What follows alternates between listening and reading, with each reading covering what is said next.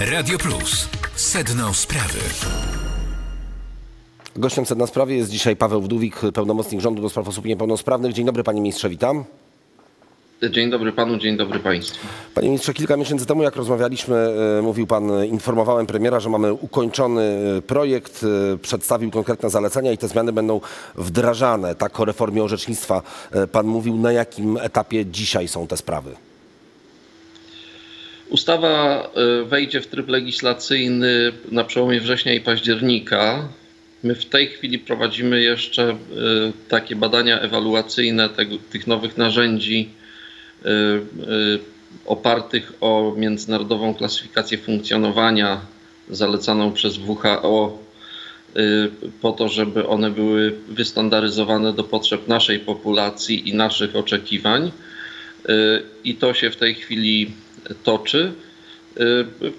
Jesteśmy oczywiście w stałej współpracy z panią prezes Uścińską i z jej ekspertami po to, żeby było to rozwiązanie, które także w skuteczny sposób odpowie na kwestie rentowe. Mhm. Czyli panie ministrze, wrzesień, październik, tryb legislacyjny, a kiedy planowane jest wdrożenie tej reformy?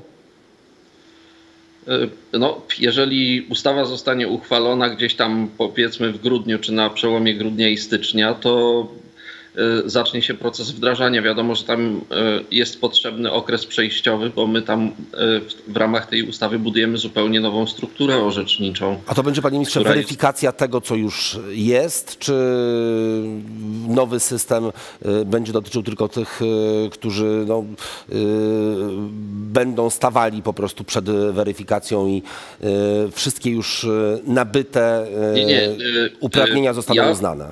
Uspokajam od, od początku początku, że nikomu nic nie zostanie zabrane. Wszystko, co jest na podstawie dotychczasowych orzeczeń, będzie. No, jeżeli orzeczenie jest na czas y, nieokreślony, czyli na stałe, to człowiek sam zdecyduje, czy chce się orzec według nowego systemu. Y, natomiast jeżeli jest na czas określony, no to będzie musiał stanąć przed y, tą koniecznością pojawienia się przed komisją. Najważniejsze jest to, że z nowym systemem orzeczniczym będzie powiązany nowy system świadczeń, e, takich, które są adresowane bezpośrednio do osoby niepełnosprawnej przede wszystkim e, i które odpowiadają w precyzyjny sposób na jej potrzeby. Czyli to Wiemy, nie będą świadczenia jest... dla opiekunów już, panie ministrze? Oczywiście w momencie, kiedy osoba niepełnosprawna nie ma 18 lat, to będą dla mhm. opiekunów, a jeżeli ma 18 lat, no to wtedy ona jest decydentem w swoich sprawach. Mhm, no to rewolucja w takim razie, jak rozumiem, tak? Jeżeli chodzi co, o świadczenia. Nie sądzę, że to jest rewolucja. To jest y, y, upodmiotowienie. To jest upodmiotowienie i oczywiście ja, ja już tego doświadczam, że wielu opiekunów y, z dużym niepokojem do tego podchodzi, ale w gruncie rzeczy my mamy w moim, w moim przekonaniu dużą nierównowagę wysłuchiwaniu głosów opiekunów i specjalistów versus głosów samych osób z niepełnosprawnością.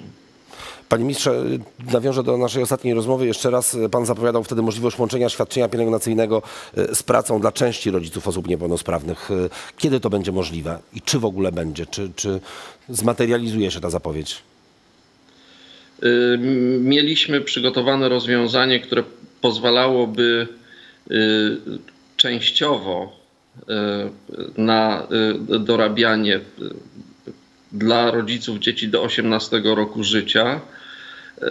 Rozwiązanie jeszcze nie ujrzało światła dziennego, a już opiekunowie zaczęli tak straszliwie protestować, że, że na no ten nie dziwię moment... się tym, panie ministrze, dla których taka możliwość nie byłaby dostępna. To nie dziwię się, że zaczęli protestować. Na ten moment to rozwiązanie nie jest procedowane. Okej, okay, czyli nie będzie takiej możliwości. Nie, nie tak... ale ja też, znaczy ja rozumiem, że rząd jest od tego, żeby go rozliczać, czego jeszcze nie, zrobił. Natomiast ja bym chciał e, zwrócić uwagę na to, co rząd zrobił. No nie, ale panie ministrze, ale E, mówi pan minister, że będzie taka możliwość, więc pytam po tych kilku miesiącach, jak zapowiedź ma się do rzeczywistości i rozumiem, że to rozwiązanie procedowane nie będzie, jednak rząd wycofuje się z tego W tej, planu. w tej chwili nie planujemy wprowadzenia, czyli do roku 2022 takie rozwiązanie nie zostanie wprowadzone. Y, Panie ministrze, w Polsce pracuje niespełna 30% osób niepełnosprawnych. Y, Do 2030 roku ten wskaźnik ma wzrosnąć do 40%. Jak? Przede wszystkim przez e, zmiany w całym systemie finansowania osób niepełnosprawnych wchodzących na rynek pracy. To, co my mamy w tej chwili, co było dobre na 30 lat temu, z całą pewnością nie jest dobre na teraz. Mamy spetryfikowany system, osoby niepełnosprawne bez awansu na najniższych e, krajowych i pracodawcy bardzo często z retoryką e, jakiejś dobroczynności podczas gdy pracownik, także ten z niepełnosprawnością, ma po prostu przynosić im dochód. Mhm, Ale to jakie konkretne narzędzia, instrumenty działania zostaną podjęte, żeby to się y, zmieniło? No chociażby co z zatrudnieniem wspomaganym, z tenerem pracy, panie ministrze, bo były pilotaże y, ze środków y, PFRON-u, Unii Europejskiej, był projekt ustawy, konsultacje. Co z tą sprawą na przykład? Mamy konsultacje, czy mamy zespół roboczy z dwiema dużymi konsorcjami organizacji, które się w tej ob- dziedzinie specjalizują. Ustawa jest w zasadzie napisana. Y, y, Skończymy te konsultacje i myślę, że y, w ciągu kilku miesięcy ta ustawa y, ujrzy światło dzienne. Ta dotycząca zatrudnienia wspomaganego, tak? Zatrudnienia wspomaganego, no to jest rzecz, na której nam bardzo zależy. Przewidujemy w kolejnym rozdaniu środków unijnych e, duże pieniądze na wdrożenie tych rozwiązań. To jaka skala E, mogłaby być y, takiego zatrudnienia? No chcielibyśmy, żeby, żeby to było w pierwszych trzech latach przynajmniej kilka tysięcy takich osób, które z rozwiązania skorzystają. Jest to zupełnie nowa jakość. I najważniejszą rzeczą jest stworzenie systemu wsparcia, bo w tej chwili w zasadzie e, my nie posiadamy profesjonalnego systemu wspierania osób niepełnosprawnych, które chcą wejść na rynek pracy. Przykro to powiedzieć, ale taka jest rzeczywistość. Panie ministrze, to jeszcze jedna sprawa. Zasiłek y, pielęgnacyjny od dwóch lat to 215 zł z groszami miesięcznie. Trzeba go podnieść i wprowadzić mechanizm y, stałej waloryzacji. Apelował y, do minister rodziny Rzecznik Praw Dziecka. Y, Pan minister widzi taką potrzebę? Y, Coś się dzieje w tej sprawie? Widzę taką potrzebę, y, ale przede wszystkim widzę potrzebę zapewnienia osobom niepełnosprawnym takich y, usług i takiego wsparcia, które jest im potrzebne. Dlatego y, mm, no ten zasiłek jest szalenie szerokim zasiłkiem. Y, Myśmy rozważali możliwość podniesienia go o 24 zł i proszę sobie wyobrazić, że podniesienie tego zasiłku o 24 zł, czyli prawie o nic, to jest y, koszt w skali roku co najmniej pół miliarda złotych. Y, Więc to w obecnej sytuacji, gdzie my uratowaliśmy mnóstwo miejsc pracy bardzo dużym nakładem finansowym, niektórzy mówią, dlaczego dajecie na firmy, dlaczego nie dajecie na osoby niepełnosprawne. Ale to jest praca także dla członków rodzin tych osób niepełnosprawnych, czego bym nie lekceważył y, i nie umniejszał. Y, Natomiast y, proszę zwrócić uwagę, jak duże środki zostały zaangażowane na zapewnienie usług asystenckich. y, Jasne, panie ministrze, ale fakt jest faktem. Zasiłek pielęgnacyjny to 215 zł. Inflacja jest taka, jakiej od dawna nie było. No to, to, to po prostu y, nie są chyba wystarczające pieniądze bez dwóch zdań. Bez dwóch zdań. I ja No jestem w kontakcie z panem premierem, y, ponieważ y, osobiście też uważam, że powinniśmy jakoś z tego wyjść w sposób, który chociaż troszkę tę sytuację poprawi. A mówił to Paweł Wdówik, pełnomocnik rządu do spraw osób niepełnosprawnych. Bardzo dziękuję panie ministrze za rozmowę. Dziękuję. Zdrowia życzę dobrego dnia. Państwu dziękuję bardzo za uwagę i miłego weekendu życzę z Euro 2021. Do usłyszenia w poniedziałek. Radio Plus. Sedno sprawy. A teraz Kamila Biedrzycka, jej super raport, na który bardzo serdecznie Państwa zapraszam. Dzień dobry Kamila. Dzień dobry.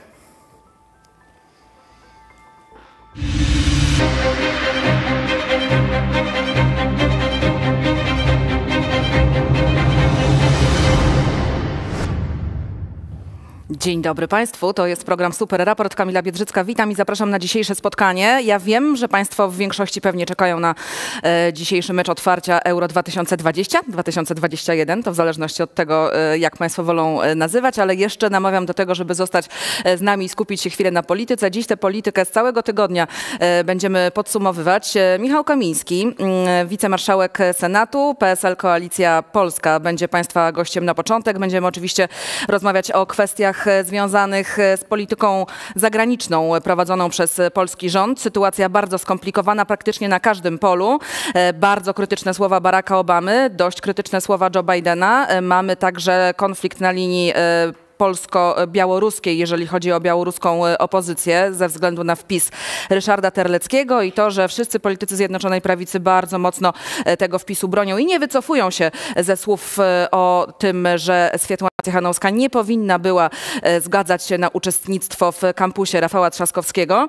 Do tego dochodzi kwestia kopalni w Turowie i do tego chodzi spór po raz kolejny z między innymi w, unijnym komisarzem, przepraszam, zawiesiłam się na chwilę, do spraw sprawiedliwości, który właśnie w tym tygodniu skierował do polskiego rządu pismo e, w sprawie e, wycofania wniosku, który pod koniec marca złożył e, premier Mateusz Morawiecki do Trybunału Konstytucyjnego Julii Przyłębskiej. Chodzi oczywiście o wniosek, który ma spowodować, aby Trybunał Konstytucyjny Julii Przyłębskiej rozpatrzył, czy polskie prawo, czy europejskie prawo mm, jest ważniejsze, jeśli chodzi o rozstrzyganie wielu, wielu spraw, które mamy na linii Unia Europejska-Polska właśnie. Więc e, Unia Europejska domaga się wycofania tego wniosku. Premier Mateusz Morawiecki odpowiada, nie ma takiej możliwości. E, No i chór dodatkowo jeszcze e, między innymi Zbigniewa Ziobry i jego współpracowników, którzy mówią o tym, że to jest absolutna ingerencja w suwerenność polskiego państwa. Premier Mateusz Morawiecki poszedł wczoraj nawet jeszcze dalej, nie wiem czy Państwo widzieli tę konferencję prasową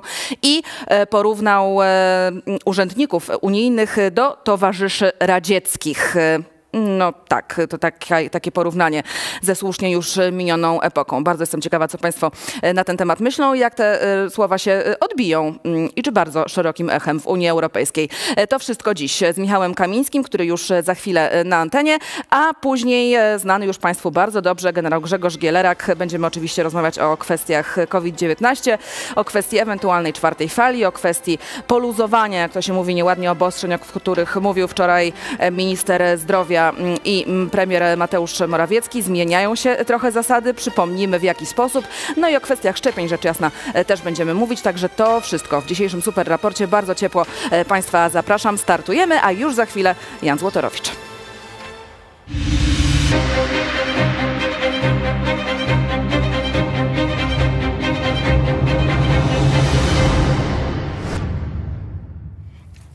Jesteśmy, jesteśmy. Janek też już jest. Piękna marynarka. Dzień dobry Kamilo, dzień Naprawdę, dobry już Państwu. dzisiaj Jankowi to mówiłam, ale bardzo, bardzo, bardzo. Tak mi się trochę przypomina Don Johnson i policjanci z Miami. Pamiętasz Tak, taki, pio, oczywiście, Też tak, że tak. no, tak. też tak. Tak, tak, piękne Te czasy. czasy, tak. Piękne czasy. Jeżeli ktoś z Państwa nie pamięta, to nie wiem, czy to jest gdzieś do odkopania, czy nie? To powinno być chyba. Czy na żadnym z tych takich popularnych serwisów tego nie widziałem, a szkoda, bym sobie chętnie No, później był film z Colinem Farrellem, ale to już zupełnie nie to. Ale dobry, bo to jednak Michael Mann, to jest porządny No filmowiec. tak, ale zupełnie to- nie miało klimatu ale to jednak serialu. Nie miało dobry klimatu film, serialu, ale zupełnie zdecydowanie. nie, nie, nie w tym klimacie. Dobrze, bo piątek nam się ewidentnie udziela, o Lecimy. kulturze rozmawiamy, o kinie, a tutaj jeszcze e, polityka nas Mamy e, jeszcze dopada. tego trochę, tak. Mamy jeszcze tego trochę. E, zaczynamy, zaczynamy od czego?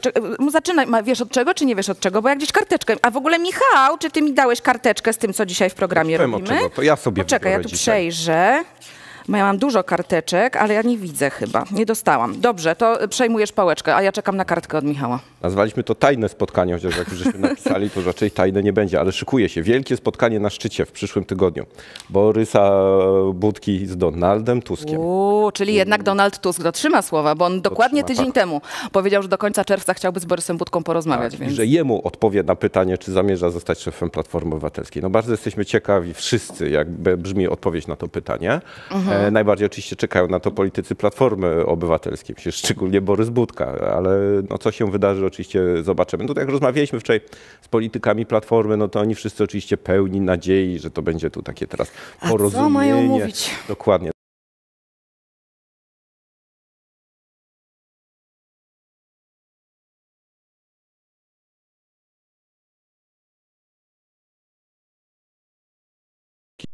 i pora pora na, czy na zmianę, no może zmiana to za dużo powiedziane, Mhm. na powrót do starych, dobrych, platformowych czasów.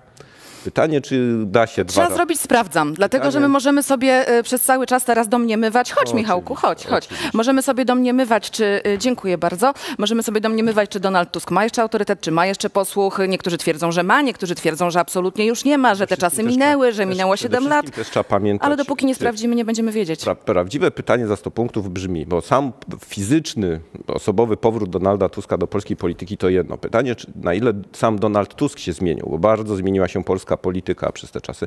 Trzeba też pamiętać, że między innymi zwycięstwo, pierwsze zwycięstwo w wyborach Prawa i Sprawiedliwości wynikało między innymi z tego, że formuła rządów Platformy Obywatelskiej, którą narzucił Donald Tusk i która była jego, jego polityka się brutalnie mówiąc wyczerpała. Jeżeli to ma być po prostu powrót do tego, co już kiedyś było i co się ludziom nie spodobało i głosowali przeciwko temu, to chyba nie ma sensu. No, ja myślę, że Donald zmiany. Tusk jest jednak zawodnikiem wagi ciężkiej, że ma tę umiejętność, doświadczenie to między innymi powoduje, żeby wyciągać wnioski. No wiadomo, że Platforma Obywatelska mocno po plecach dostała od już- wyborców, więc Chociaż widzieliśmy już wielu politycznych liderów, którzy się po prostu próbowali wracać. Pamiętamy, jak Aleksander Kwaśniewski Bo- próbował wrócić i konsolidować lewicę i z martwych ją podnieść, wielu, ale się nie wielu udało. polityków, którzy się po prostu zatrzymali mentalnie na czasach swojej świetności. Ale coś mi się wydaje, że nie Donald zauważyli, Tusk- że świat poszedł. Bo oczywiście, no Może zobaczymy. mm, Jakby też może wydaje się być zaskoczona, ale- rozsądnym politykiem, który przynajmniej potrafi reagować na to, co się dzieje. Ale na Mhm. ile dzisiaj, w 2021 roku, zobaczymy. Nie wiadomo. E, O tym z Michałem Kamińskim, który Państwa gościem będzie za e, kilka minut, na pewno także będziemy e, rozmawiać. A teraz drugi temat. Dostałam już karteczkę od Michała, więc wiem. Wyborcy Prawa i Sprawiedliwości, Kaczyński musi rządzić, tak Musi mówią. rządzić. Nikt poza prezesem. Tak, nie do końca, że nikt, bo ja muszę przyznać, że ja byłem dosyć zaskoczony wynikami tego sondażu, który zamówiliśmy. Dobrze było, żebyśmy go zaraz tu Państwu Mm, pokazali. pokazali. O, tutaj go już z dołu widać. Z góry z kolei zdjęcia, o których za chwilę też chcę Wam opowiedzieć, bo to są fascynujące A, zdjęcia. na piąteczek e, Ale- przygotowałeś, tak? Coś Ale tak zacznijmy od tego sondażu, bo to jest sondaż przeprowadzony wśród wyborców Prawa i Sprawiedliwości. Ja byłem przekonany, że Wyłącznie. wśród wyborców Prawa i Sprawiedliwości odpowiedź na pytanie, czy Jarosław Kaczyński powinien wystartować na kolejną kadencję szefa Prawa i Sprawiedliwości, to będzie prawie że 100%, jak nie więcej. O, a sześć, tylko 60. 60. 60 to jest dużo, ale w przypadku, biorąc pod uwagę, że właśnie, że chodzi o wyborców PiS, to wcale aż tak dużo nie jest, więc jest tam jednak spora grupa, tylko no, na nie jest 22%. To jest zaskakujące, rzeczywiście. Jest to zaskakujące, aczkolwiek to jest dalej bardzo, bardzo solidne poparcie, jak tłumaczy tu w rozmowie z nami profesor Rafał Chwedoruk. No też Kaczyńskiemu ciągle się pamięta to, ciągle też wyborcy prawicy pamiętają smutne dla nich bardzo czasy, gdzie prawica była bardzo, podzie bardzo podzielona i bardzo skłócona. Nie tak podzielona, nie tak skłócona jak teraz. Bo to, co jest teraz, to jest naprawdę pełna zgoda w porównaniu z tym, co było kiedyś. Właśnie człowiekiem, który to wszystko wziął, mówiąc brzydko, za pysk i zjednoczył, był właśnie Kaczyński. Stąd też tak jego silne wśród y, prawicowych wyborców poparcie. I dlatego Ja też bardzo trzeba, jestem widać, ciekawa, kogo wskazują niego- poza e, Jarosławem Kaczyńskim. Znaczy, na kogo by postawiło te 22%, które mówi nie Jarosław? Mieliśmy sondaż w tej sprawie, no i jego niekwestionowanym liderem był Mateusz Morawiecki. Mateusz Morawiecki, który Jako- nie ma żadnego zaplecza partyjnego w swojej własnej nowy, partii. jako nowy szef partii. No tak, to raczej scenariusz, który się Ale widać, nie że o preze- sprawdzi, na razie tak prezes sądzę. jest prezesem Mimo, i prezes, prezesa. prezesem będzie. I No jak właśnie, tu a co to za zdjęcia, powiedz Trzeba, jeszcze? ba- no no, trzeba bardzo dbać o prezesa do tego stopnia, że nawet podczas no, tak Wizyty na cmentarzu. wa- ważnej bardzo i spokojnej wizyty na cmentarzu, to nawet wtedy towarzyszy mu nie dość, że ochroniarz, to jeszcze ochroniarz uzbrojony, jak tu widać, w broń. No końcu wicepremier do spraw bezpieczeństwa. ja, prawda? drodzy Państwo, ekspertem w dziedzinie broni nie jestem, ale rozmawialiśmy z ekspertami, którzy mówią, no, no Jarosław Kaczyński korzysta zarówno z profesjonalnej ochrony państwowej, jak i z prywatnej spółki zatrudniającej byłych komandosów gromu. To jak powiedział nam ekspert, to są fachowcy, a fachowcy raczej na pokaz yy, pistoletów na kapiszony nie noszą. No tak, to zostawiamy już Państwa ocenie. Możemy się y, od komentarza wstrzymamy, bo... Mm, ja, Nie, nie no, komentarz jest taki, że jak widać w sondażu, to jest bardzo ważny dla Prawa i Sprawiedliwości polityk, dla wyborców PiSu polityk i trzeba o niego po prostu szczególnie, szczególnie dbać, nawet na cmentarzu. Tak. E, Tutaj nasi widzowie piszą, że wizja nie gra z fonią. To taka informacja dla realizacji, że podobno się rozjeżdżamy trochę. To nie wiem, czy to da się coś z tym zrobić, czy nie, ale tylko widzę, że tutaj e, widzowie donoszą. Spróbujemy, e, mówi Kuba, także przekazuję Państwu, że koledzy nad tym pracują. Janku, bardzo Ci dziękuję. Dziękuję Życzę Ci bardzo. bardzo dobrego weekendu. Jakie plany? Y, no, żonę wiozę na szczepienia na, A, na, na Mazury. drugą, drugą nie? dawkę. O, to przyjemne z pożytecznym Przyjemne z połączycie. pożytecznym, tak jest. O, jak ci tych Mazur zazdroszczę. Bardzo, bardzo. Ja dopiero pod koniec lipca, niestety. Więc my Także się, my się Dużo zdrowia i bawcie się dobrze. Stuprocentowo wszczepić. Dziękuję Tak jest. bardzo. Widzimy się w, w poniedziałek. się widzimy. W Do poniedziałek się zobaczenia. widzimy. Dziękujemy. To był Jan Złotorowicz yy, i do zobaczenia za chwilę.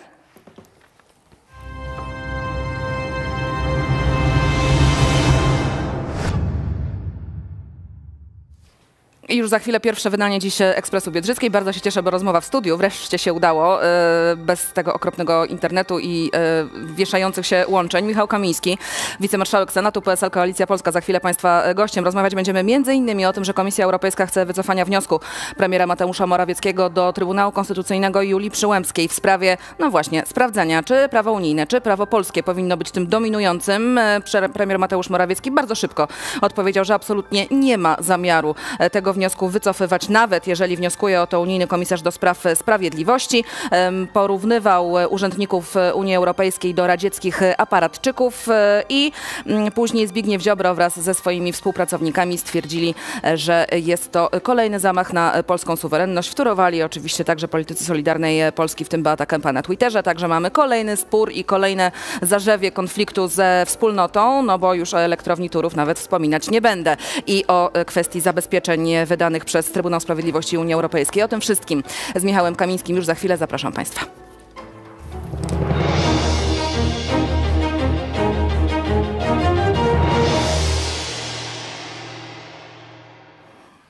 I raz jeszcze oficjalnie i osobiście bardzo mnie to cieszy. Strasznie Witam. się cieszę. Ja Witam też, bardzo. Michał Kamiński, wicemarszałek Senatu. Chyba warto byśmy, y, zaczynając ten nowy etap, Mhm. dziennikarsko-polityczno-życiowy, y, wszystkim życzyli dobrego samopoczucia. Tak. Ja muszę pani redaktor powiedzieć, że to, co jest jakąś taką straszną spuścizną COVID-u, to jest ta ogólna depresja. Tak wiele Mhm. osób dzisiaj, pewnie naszych widzów też i czytelników, zmaga się z tą depresją.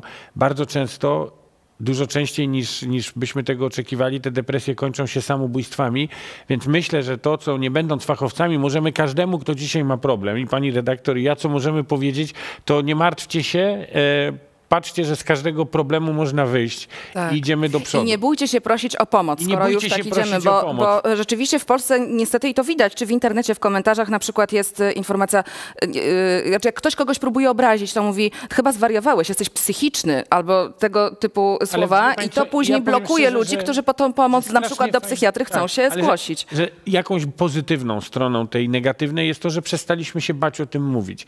Że Tak, to jest się o pomoc zmiana. do specjalisty i tak dalej nie jest już czymś e, traumatycznym, czymś wstydliwym. No i mm, korzystając z tej okazji, że mamy coś pod fajnego Polakom do powiedzenia, Mhm. Tak. czyli że możemy już ze sobą normalnie rozmawiać i że wygląda na to, że wychodzimy z, tych, e, z tego naj, najgorszego etapu, to, to warto ten przekaz pozytywny No dobrze, a czy jak, jako marszałek Senatu to już wykorzystam e, jeszcze pana obecność i ten temat e, zaapeluję, szczepcie się ludzie. Ja się zaszczepiłem w tym tygodniu drugą, drugą Dawką? E, dawką. Forma jak Jestem widzę już dobra, trzeciej ręki nie ma. Po, po, w pełni zaszczepiony i każdemu tak samo radzę i e, szczepmy się, zabezpieczajmy się i wierzmy naukowcom, a nie szarlatanom. O właśnie, i to jest najlepsze podsumowanie. Dobrze, dosyć tych miłych apeli. Teraz e, wraca Teraz Polska. będzie mniej miło. Teraz będzie mniej miło, wraca polska polityka. Premier Mateusz Morawiecki w kolejnym sporze, między innymi z komisarzem do spraw sprawiedliwości e, Unii Europejskiej. Chodzi oczywiście o wniosek dotyczący mm, właśnie tego zbadania e, ważności prawa. Co, co dominuje? Prawo polskie czy prawo europejskie? Pani redaktor, No ja to pam- co dominuje, pamiętam, panie marszałku? Ja myślę, że ludzie już naszą sami nie wiedzą. Ostatnią rozmowę, która była jeszcze właśnie w tym covidowym reżimie e, przez Skype'a, gdzie mówiłem o tym, że jedynym powodem, dla którego Polacy mogą stracić pieniądze, te 770 miliardów, które widzimy na billboardach, jak Polska długa i szeroka, Mhm. którymi chwali się rząd, jedynym powodem będzie e, decyzja Unii Europejskiej o zastosowaniu tej klauzuli pieniądze za praworządność. Mówiąc krótko, jeśli Unia Europejska uzna, że polski system prawny z punktu widzenia Unii Europejskiej jest niepraworządny, my stracimy te pieniądze. To jest układ zero-jedynkowy, pani redaktor. I jeżeli dzisiaj pan premier, pan minister edukacji, nasilając swoją antyeuropejską retorykę, z jednej strony chwalą się pieniędzmi, ale z drugiej strony mówią, polskie prawo jest ważniejsze od prawa europejskiego, to zdają sobie sprawę, na pewno premier Morawiecki zdaje sobie sprawę, że wchodzi w sensie formalnym, e, bo w Europie ta sprawa jest traktowana poważnie, bo Polska jest poważnym krajem w Unii Europejskiej i Polska ma prawo robić to, co robi e, Mateusz Morawiecki. Tyle tylko, że nie ma prawa tego robić w ramach Unii Europejskiej. To jest klub, który mówi, możecie robić, co chcecie. Nie bierzecie naszych pieniędzy, nie macie dobrodziejstw. Tego proszę bardzo, róbcie sobie taką e, politykę, jaką chcecie. Jak będziecie robić tak jak Łukaszenka, no to będziemy was takimi sankcjami traktować. Natomiast, ale poza Unią. Jeżeli jesteśmy w Unii, to mamy tylko trzy wyjścia. I Mateusz Morawiecki wie doskonale, bo każdy konstytucjonalista to powie, każdy ekspert prawa europejskiego to powie. Jest Polska, jest Unia Europejska. Jest jakieś rozwiązanie, które nam się w Unii nie podoba. Pani redaktor, dotyczące na przykład tego, jak Unia widzi system relacji między władzą, e, między władzą sądowniczą a państwową. Widzi ewidentnie, znaczy między władzą polityczną a sądową, widzi ewidentnie ten problem inaczej niż rząd Mateusza Morawieckiego. Ja w ogóle nie mówię, kto ma rację. Nie mówię, czy Morawiecki ma rację, Ziobro, czy ma rację Unia Europejska. Ale to jest problem ob- obiektywnie. Oni inaczej te kwestie widzą. I wyjścia są tylko trzy. Mateusz Morawiecki przekonuje Unię Europejską, że on ma rację. Znajduje sojuszników w Unii, zdobywamy większość i Unia Europejska dialogu też nie ma, to jest przyjmuje problem, polskie prawda? stanowisko za swoje. To jest jedno wyjście. Tak. Drugie wyjście, Mateusz Morawiecki mówi tak, trudno, nie podoba mi się to rozwiązanie, uważam, że jest inaczej, ale niestety Unia Europejska, zostaliśmy przegłosowani, jesteśmy w tym klubie, mówi Mateusz Morawiecki, trudno, musimy się z tym pogodzić, nie podoba nam się, ale się na to godzimy. I trzecie wyjście. Mateusz Morawiecki mówi, w takim razie postawimy Polakom pytanie, czy chcą być w Unii Europejskiej. Nie ma innego wyjścia. Wejście, wyjście z Unii, zmiana prawa unijnego polskimi siłami, co jest przecież wiemy doskonale niemożliwe, albo dostosowanie się do tego, co mówi Unia. Kaczyński albo się dostosuje z Morawieckim do tego, co mówi Unia Europejska, albo będzie musiał z Unii Europejskiej wyjść. I Polska, trzymając rząd Kaczyńskiego i Morawieckiego, naraża się nie tylko na utratę tych pieniędzy 770 e, miliardów w takim doraźnym sensie, myśli- ale naraża się generalnie na wyjście z Unii Dobrze, Europejskiej. a myśli pan, że jest żart. utrata tych pieniędzy w tej chwili stała się bardziej prawdopodobna przy okazji właśnie tej sytuacji z pytaniem Pani do Trybunału? jeżeli Parlament Europejski zaczął się zajmować dokładnie tą klauzulą, Mhm. pieniądze za praworządność, jeżeli komisarze Unii Europejskiej nie pozostawiają w tej sprawie żadnych wątpliwości, jeżeli dodatkowo mamy jeszcze kłopot, który jest też kłopotem potężnym, który mamy z Czechami i z e, wyrokiem tak. w Trybunale Sprawiedliwości Unii Europejskiej. Ale wyroku jeszcze nie było z takim znaczy, postanowieniem. Mhm. Postanowieniem, ale to postanowienie działa. Wyroku nie Tak. było, ale postanowienie działa. I to jest potężny problem. A, a rząd Mateusza Morawieckiego w tym czasie, kiedy Czesi przygotowywali się i jak widzimy, przygotowywali się dobrze do pokonania Polski w Trybunale e, Sprawiedliwości Unii Europejskiej. W czasie, kiedy Czesi w Pradze pracowali nad tym, jak pokonać Polaków, polscy dyplomaci w Pradze pracowali nad tym, jak zmienić czeskie ustawo- ustawodawstwo antyaborcyjne.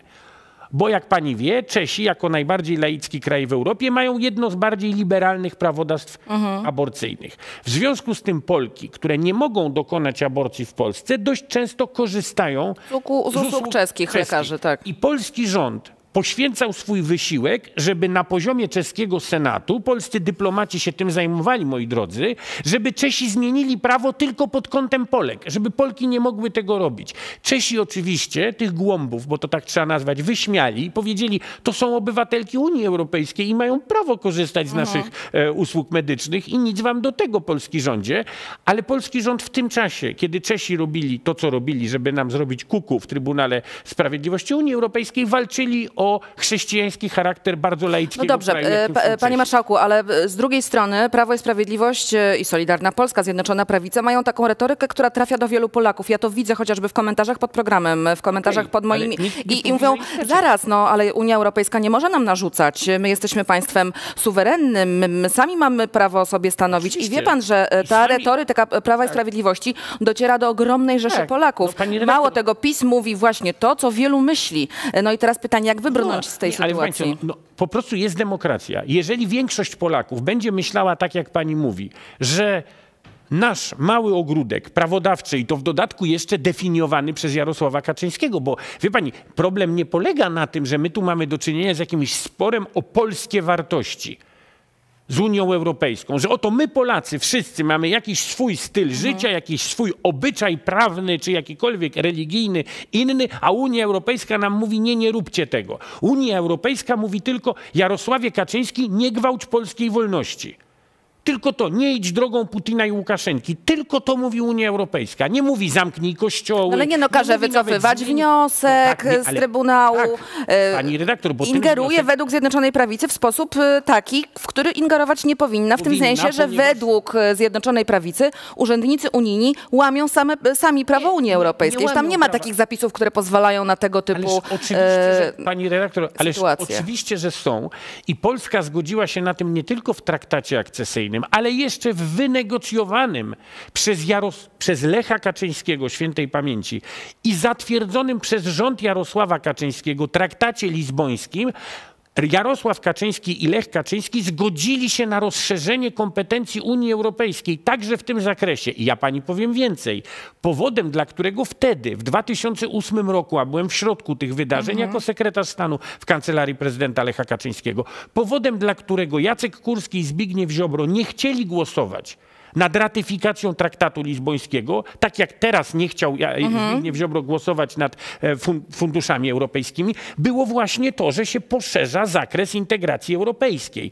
I co można powiedzieć Ziobrze, to, totalnie się z nim nie zgadzając, że on w tej sprawie był bardzo konsekwentny. A No Jarosław dobrze. Kaczyński z jednej strony podbija nacjonalistyczny bębenek, ale z drugiej strony, jak przychodzi co do czego, to już dwukrotnie zgodził się na bardzo istotny, daleko idący krok w stronę integracji europejskiej. I dzisiaj skutki tego, że Unia Europejska robi to, co robi i bardzo dobrze, to są skutki No polityki. dobrze, i króciutko, bo ten musi, mam jeszcze mnóstwo tematów przed sobą. E, Króciutko, co się wydarzy, jeżeli premier e, ziści swoje zamierzenia i powie, mm, nie wycofuje wniosku i ten wniosek nie zostanie jeżeli, wycofany? Jeżeli Jaka będzie reakcja Polski Unii? Konstytucyjny stwierdzi, że polskie prawodawstwo ma... No na pewno tak stwierdzi, no to już dzisiaj możemy powiedzieć, Prawda? że stwierdzi Trybunał. I to będzie miało konsekwe- konkretne konsekwencje prawne w odniesieniu do tych przedmiotów sporu między Polską Tak. a Unią Europejską. Unia Europejska, teraz to mówię na użytek naszych, żeby to mówić po prostu szybciej i tak, Tak. żeby każdy zrozumiał. Unia Europejska powie tak, to macie zmienić to, to i to prawo, inaczej uznamy was za na przykład kraj niepraworządny.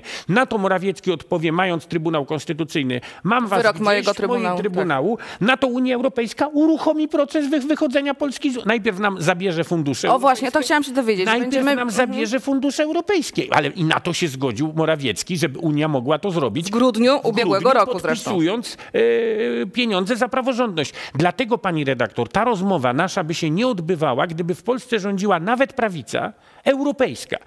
Bylibyśmy, mielibyśmy inne spory, takie jak mają Niemcy, Mhm. Francuzi, Włosi czy Hiszpanie. My mamy spór co do istoty naszego, naszej obecności w Unii Europejskiej i No dobrze, a jak, się, a jak się panie, jeszcze jednak muszę w tym temacie, bo, bo, bo jeszcze jeden ważny argument, którego e, się bardzo często używa, że wcześniej Trybunał Konstytucyjny już dwukrotnie w tej sprawie się wypowiadał. Mam na, mam na myśli kwestię e, prymatu jednego prawa nad drugim. To było za czasów e, no, Tak, prezesów pani- Trybunałów Konstytucyjnych, Tak, którzy dokładnie przeciwieństwie do obecnej pani to, co, to, co ja teraz byli związani pani z PiSem. To, co ja teraz Mhm. pani mówię, jest także w orzecznictwie Polskiego Trybunału Konstytucyjnego, czyli wskazanie trzech dróg.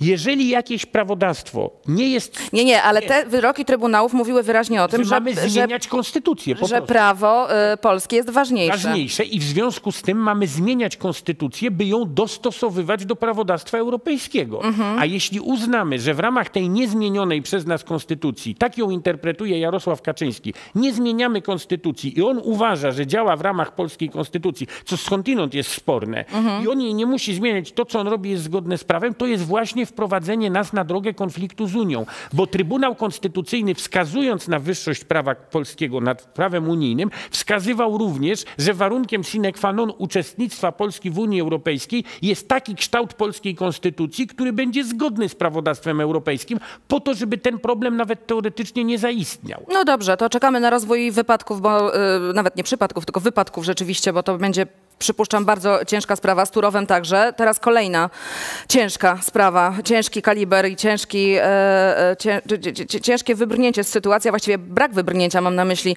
Ryszarda Terleckiego i jego najpierw słowa na Twitterze, a później list, który teoretycznie miał coś wyjaśnić e, Swietłanie Cychanowskiej, a On wydaje się, ale że... Wiele wyjaśniał. Znaczy, Ja myślę, że bardzo wiele wyjaśnił, jaki jest pogląd pana Terleckiego na opozycję i w ogóle rolę polityki. Znaczy, pana zdaniem Terleckiego zasadniczym zarzutem wobec polskiej opozycji jest to, że chce zmienić rząd.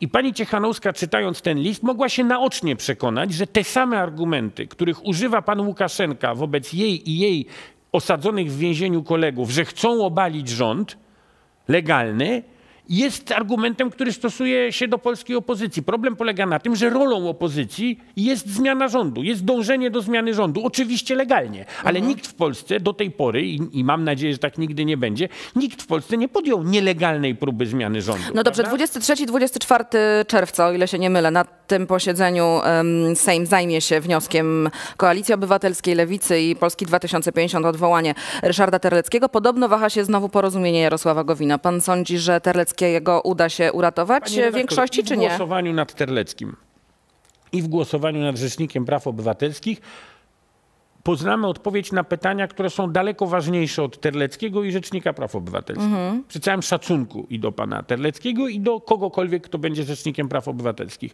Otóż poznamy odpowiedź na pytanie, czy Jarosław Kaczyński dysponuje większością w Sejmie. Jeżeli ją nie dysponuje, to dowiemy się, kto nią dysponuje. Dowiemy się, czy fakt, że w Polsce rządzi Jarosław Kaczyński bądź nie rządzi, zależy od Jarosława Gowina. To jest podstawowa wiedza, którą będziemy mieli po tych dwóch głosowaniach. I to bardzo wiele zmienia w polskiej polityce, bo jeśli się okaże, że Jarosław Gowin, nawet jeśli głosuje razem z opozycją, nie jest w stanie, my, opozycja, nawet z Gowinem po naszej stronie, nie jesteśmy w stanie pokonać Jarosława Kaczyńskiego, to będzie jasne, że w najbliższym czasie jakiekolwiek mówienie o zmianie rządu w tym parlamencie jest niemożliwe. Wtedy trzeba będzie czekać, kiedy Kaczyński będzie chciał na przeprowadzić wybory. na przyspieszone, przyspieszone wybory i wtedy podjąć próbę, odwołując się do racjonalnych uczuć wszystkich uczestników polskiej sceny politycznej i dopiero wtedy podjąć próbę zmiany rządu, mówiąc i każdy od lewicy po konfederację zrozumie, że lepiej w Polsce prowadzić kampanię wyborczą bez Kaczyńskiego u władzy, y, z rękami na policji, telewizji, prokuraturze i tak dalej, niż wybory w warunkach pluralistycznego, technicznego rządu, który zapewni wolny start i wolne, e, w, wolną elekcję. Ale do takiej dyskusji wrócimy dopiero jak Kaczyński postawi wniosek No dobrze, o tylko Jarosław Gowin już chyba wczoraj powiedział, e, nie zrobię nic, co mogłoby zachwiać e, koalicją i większością Zjednoczonej Prawicy. Jeżeli tego nie zrobi, co by mogło nią zachwiać, no to w takim razie A sytuacja... z drugiej strony i on i jego współpracownicy mówią, że to, co robi Terlecki jest skandaliczne na przykład. Pani redaktor. No jest w ogóle jakieś raz, rozdwojenie jaźni w naprawdę, tym porozumieniu. Różne rzeczy mówią pod wpływem doraźnej chwili gier, które prowadzą. Ja nie mam o to pretensji, Mhm. ale ja chcę, ponieważ staram się od wielu lat, przeszedłszy pewną zmianę, staram się w mojej, na ile to jest tylko możliwe, stosować zasadę zero ściemy. Proszę mi wierzyć, naprawdę, bo ja mam dość ściemy w polityce. I powiem pani jeszcze raz. Nie chodzi o nic innego w tych głosowaniach. Przede wszystkim, jak o odpowiedź na pytanie, czy do Gowina należy większość. Jeśli Gowin ma klucz do tego, że Kaczyński może w Polsce nie rządzić, to wtedy wszystko jest możliwe, bo wtedy, pani redaktor, będziemy mogli zadać Jarosławowi Gowinowi pytanie i powiedzieć mu, że to jest jego odpowiedzialność. Bo jeśli od niego zależy, że rządzi Kaczyński, to argumenty ja muszę być przy Kaczyńskim, bo jakby mnie tam nie było, to by byli jeszcze gorsi wariaci. Ja muszę tam być, bo jest taka niestety e, e, dziejowa konieczność i trzeba ratować co się da, to to jest argument, który można kupić bądź nie w sytuacji, w której wierzymy, że Gowin nie ma wpływu na to, czy Kaczyński rządzi, czy nie. I wygrał, stara się robić, na ile mu pozwala Kaczyński i okoliczności, coś dobrego w ramach tego rządu. Można taką postawę szanować, można ją rozumieć, można jej nie rozumieć. Natomiast jeż- ta sytuacja się zmienia w zupełności, jeżeli Jarosław Gowin jest politykiem, który ma klucz do przyszłości Polski. No to tak. Bo albo Jarosław Gowin pójdzie w jedną stronę i rządzi opozycja, techniczny rząd do wyborów, albo A jak pan myśli, dalej. co wygra w Jarosławie e, Gowinie? To będzie. przede wszystkim musimy poznać na pytanie odpowiedź na pytanie, czy on tą posiada tę zdolność. Czy ma tych posłów? Jeżeli się okaże, że siedmiu, ośmiu, nie wiem ilu posłów Gowina stanowi w Polsce to, czy rządzi jedna strona, czy rządzi druga strona, to wtedy jest zasadnym pytanie do Gowina, w imię jakich wartości utrzymuje u władzy Dobrze. Jarosława Kaczyńskiego. Panie marszałku, to dwa słowa jeszcze o opozycji. E, Tydzień dzisiaj mija od e, tej deklaracji e, Donalda Tuska o tym, że nie da umrzeć w cudzysłowie Platformie Obywatelskiej. Wiemy, że ma w przyszłym tygodniu odbyć się spotkanie Tuska Tajne. właśnie, tajne niezwykle, z Borysem Budką. Już o tych tajn, o szczegółach tajnego spotkania Tak, prasa szeroko Tak, tak, tak, tak. Czeka pan na powrót. Tuska i tak szczerze uważa, że on jeszcze ma taki rezon, że rzeczywiście Słuchałem jest w stanie coś namieszać, czy nie? państwa rozmowy przed, przed moim tutaj wejściem i zgadzam się zarówno z tą wątpliwością, e, czy, czy z takim okolicznością, która mówi, Donald Tusk odnosił sukcesy parę lat temu, Polska się zmieniła. To jest i pytanie y, stające w związku z tym nad jego aktywnością polityczną jest zasadne, ale z drugiej strony cała rola życiowa Donalda Tuska pokazuje, że jak mało kto on się potrafi dostosowywać I do nowych się wydarzeń. potrafi. Dlaczego? Bo jest człowiekiem piekielnie inteligentnym i skutecznym. Czyli człowiekiem, który rozumie, że sytuacja się zmienia. Bo problem polega na tym, że polityk sytuacje się zmieniają, ale polityk może się do zmieniającej sytuacji dostosować pod warunkiem, że rozumie, dlaczego ona się zmienia, dlaczego przegrał. Myślę, że dzisiaj y, y, Donald Tusk zna odpowiedź na pytanie, dlaczego obóz, którego jest symbolem, bo to jest daleko więcej niż tylko Tak. Platforma Obywatelska, to jest symbol polskiej modernizacji, polskiej europeizacji, polskich przemian. I ciepłej wody w kranie, dopowiedzą panu niektórzy. kranie, co jest akurat moim największym wobec Tuska zarzutem, że swoje, swoje premierostwo do tego wymiaru propagandowo niepotrzebnie sprowadził, a ten wymiar był dużo większy. No dobrze, ale gdyby miał wrócić, to jako kto, panie marszałku? I to jest pytanie, pani redaktor, na które też nie znamy odpowiedzi, jako kto, bo sam Donald Tusk jeszcze się w tej sprawie Tak. nie wypowiedział. Ale to, co mnie najbardziej uderzyło w ciągu ostatniego tygodnia po tej bardzo ważnej deklaracji Donalda Tuska, to to, że w Platformie nic się nie stało.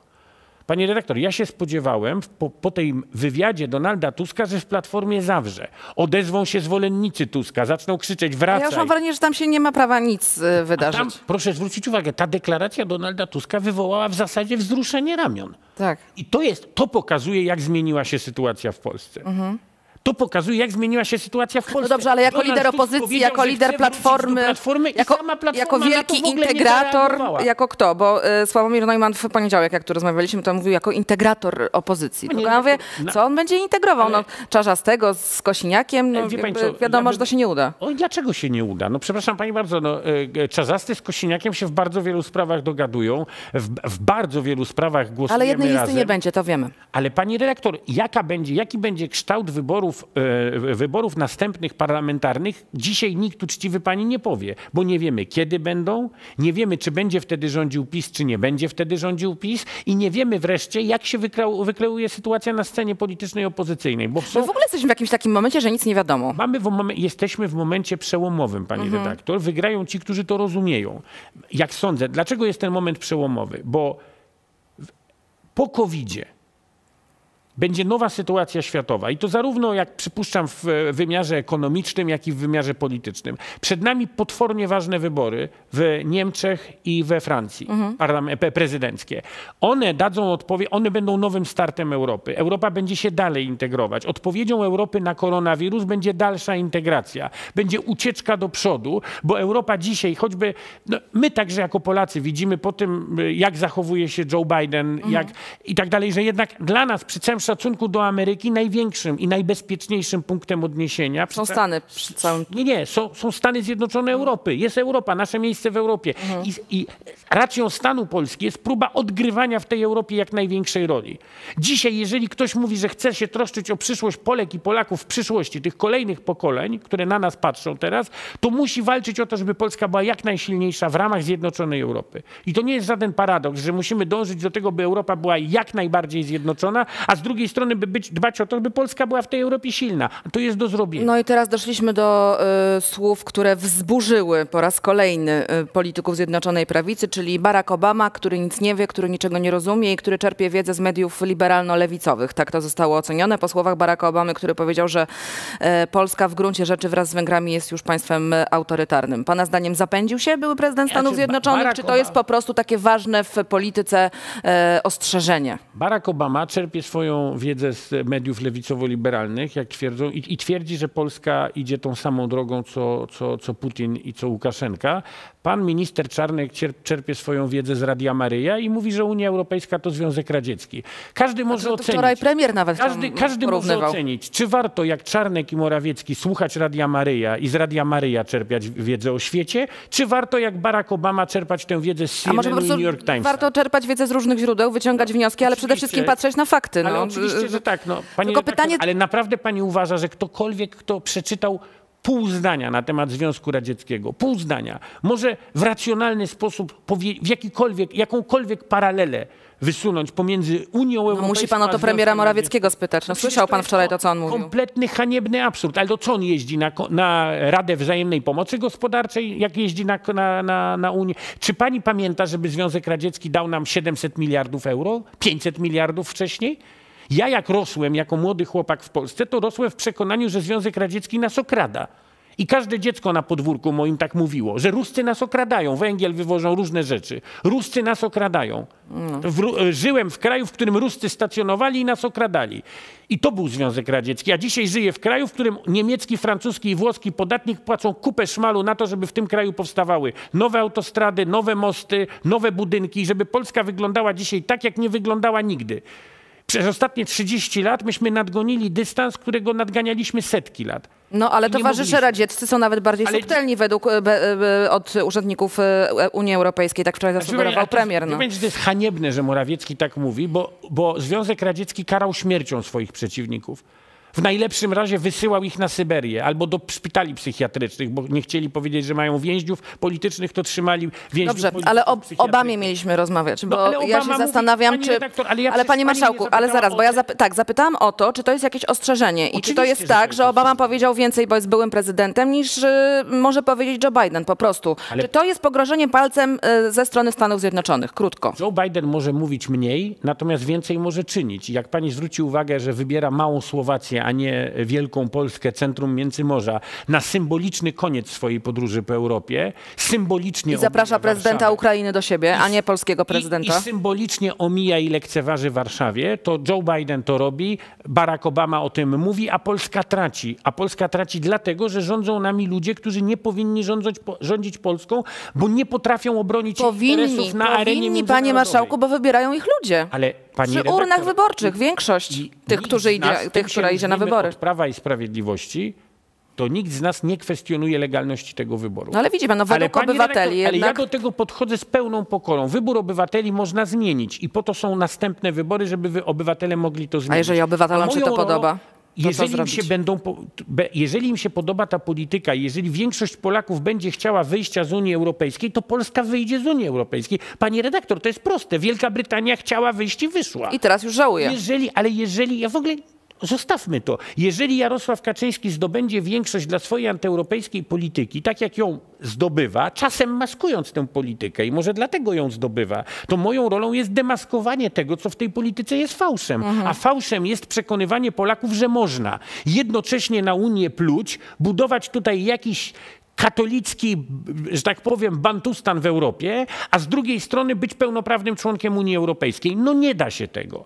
Nie da się pogodzić wizji politycznej Jarosława Kaczyńskiego z miejscem Polski w Europie. Nie oznacza to, że Jarosław Kaczyński nie ma prawa do tej wizji. Ma. Nie oznacza to, że Polacy nie mają prawa za tą wizję, wizją głosować. Mają prawo.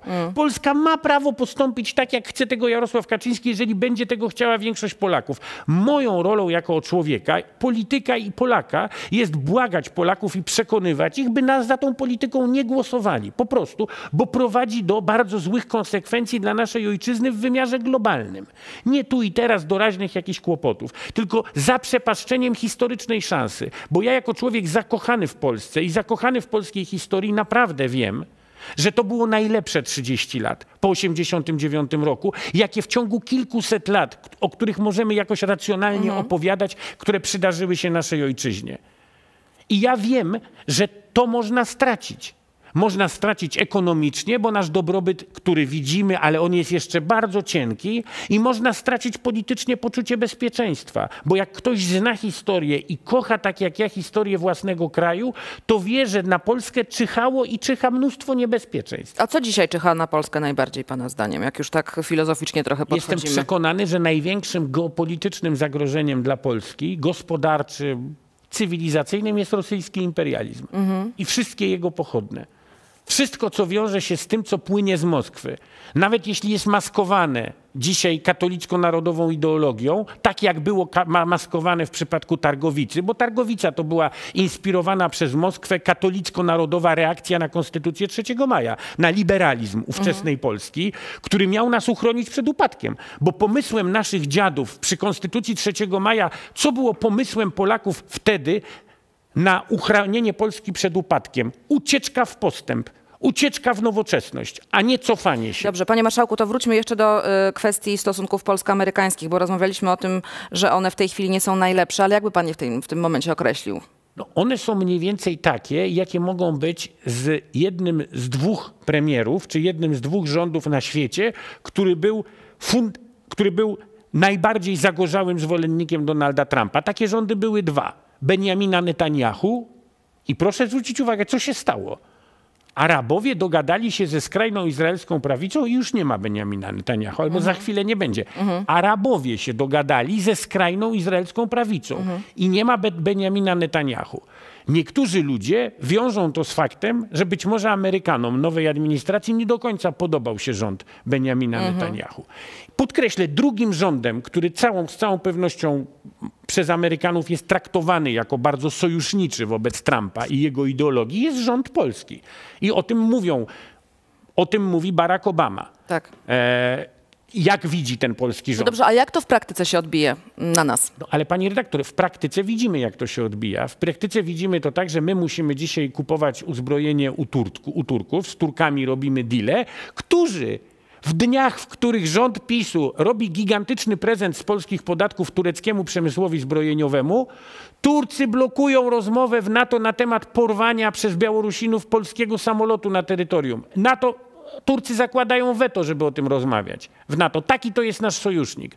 I rząd, który z walki o wrak, który cały czas leży w Smoleńsku, czynił sztandar, który z wstawania z kolan i patriotyzmu uczynił podstawową legitymację do swojego rządzenia, w ogóle nie reaguje. Jak Rosjanie, ruskie służby wchodzą na, do, na pokład polskiego samolotu z biało-czerwoną szachownicą, wyciągają stamtąd rosyjskich obywateli z terytorium Rzeczpospolitej, bo, ta, bo to jest polski samolot. No Polska na ten temat nie reaguje. Łukaszenka porywa zarejestrowany w Polsce samolot, robi co chce i gdzie? Gdzie, gdzie, gdzie ci godnościowcy?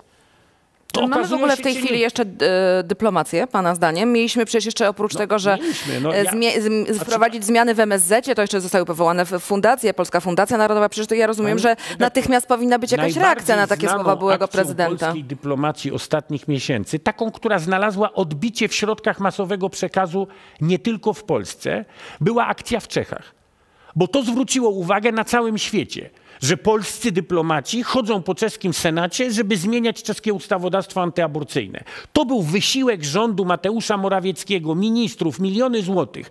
Mówię, w dniach, w których Czesi się szykowali do walki o polski Turów, prawda? O, o pokonanie nas w Trybunale Sprawiedliwości Unii Europejskiej, to Polska nie mająca ambasadora notabene w Czechach od roku, Polska nie mająca tam ambasadora, zajmowali się polscy dyplomaci walką z czeskim ustawodawstwem dotyczącym aborcji. No a wczoraj I e, z Tego Waszczykowski w moim Polska- programie mówi, żeby nie wiem, co się stało, żeby nie wiem, jaki wyrok zapadł, my płacić nie będziemy. No, no więc, pani redaktor, i mamy do tego prawo. W takim sensie powiedzieć, że się wypisujemy z tego klubu, po prostu. Ale nie możemy powiedzieć, że chcę, e, będę w Legii, grał jako zawodnik Legii pod warunkiem, że będę występował w, ko- w koszulce innego klubu.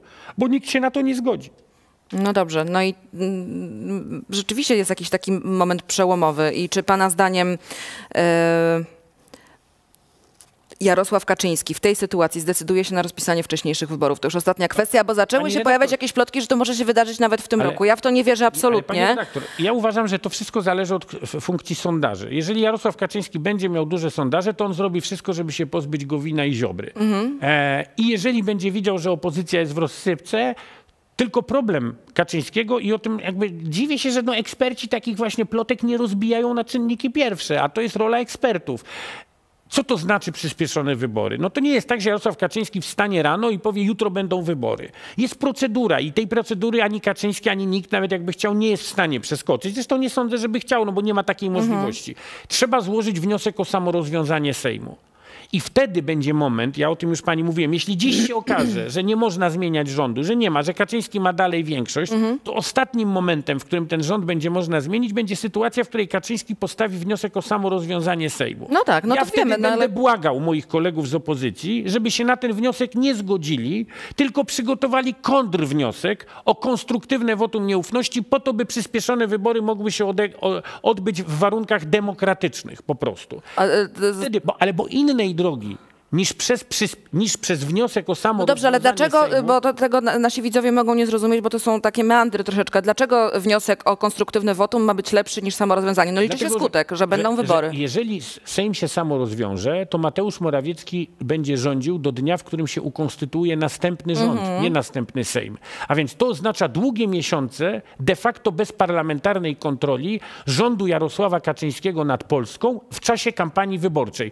No każdy z Państwa, nawet jak jest tylko umiarkowanym zwolennikiem Prawa i Sprawiedliwości, ale zaczyna mieć jakieś wątpliwości co do tego, czy do końca oni rządzą fajnie, czy chciałby, żeby polska kampania wyborcza w warunkach ogromnego napięcia odbywała się, kiedy rząd nie ma kontroli parlamentarnej i wszystkie Wszystkie twarde elementy uprawiania polityki są w rękach Jarosława Kaczyńskiego. I wtedy opozycja będzie miała wybór. Albo poprzeć wniosek o samorozwiązanie Sejmu i powiedzieć, dobrze, za 60 dni są nowe wybory, rób co chcesz.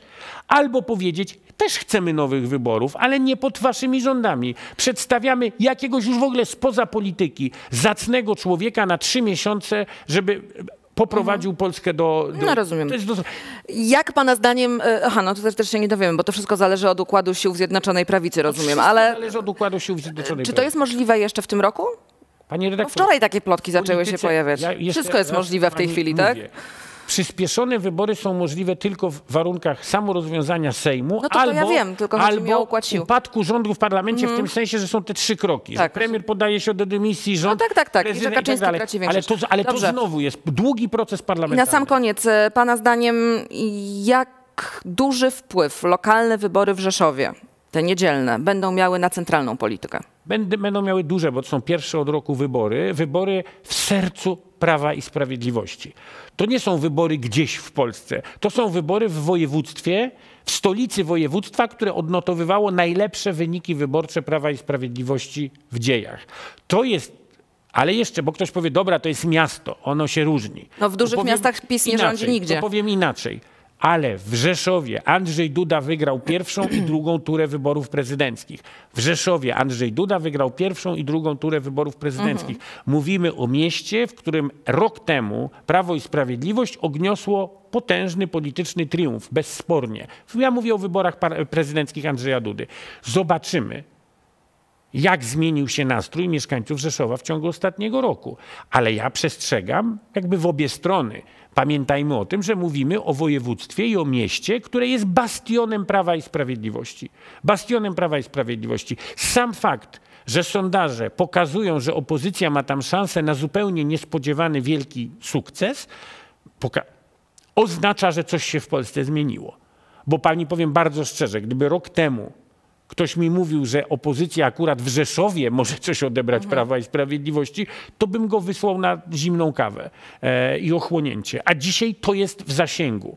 To jest, da, to jest daleka droga. Każdy, e, kto myśli, że tam jest sprawa rozstrzygnięta i się się myli. zastanawia, czy pojechać na działkę, czy nie. No dobrze, ale to, to tutaj już pan nam zdiagnozował sytuację obecną, ale ja pytam, jak to wpłynie na politykę centralną? Przypuśćmy, e, wygrana Konrada Fiołka. Co to będzie oznaczało? to będzie kolejny sygnał pokazujący na to, że tak jak nie ma powrotu do Polski sprzed 15 roku, to wszyscy wiemy i wie to też myślę Donald Tusk, nawet zapowiadając swój powrót, ale wybory w, w, wybory w Rzeszowie pokażą nam, czy przypadkiem ta Polska, którą zafundował Jarosław Kaczyński e, po roku 15 też już się nie kończy.